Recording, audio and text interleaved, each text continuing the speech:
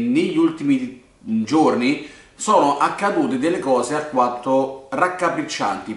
E ho detto non ci voglio credere, cioè raga ho visto veramente lo schifo più assoluto. E dico non ci credo che le persone realmente non hanno un minimo di cervello. Sono rimasto scioccato raga, schifato, disgustato e non lo so raga, non so neanche come definire queste cose perché ci sono stati molti casi schifosi, persone oltre le cose, marmasse di persone tutte riunite allegramente a fare i loro cazzo dei comodi, ok? Mentre loro vanno in giro tranquilli a creare le folle di gente, di persone per andare a prendere qualcosa da bere o da mangiare. Siete vergognosi. Siete delle merde. E fate veramente schifo. Non avete rispetto per nulla e per nessuno.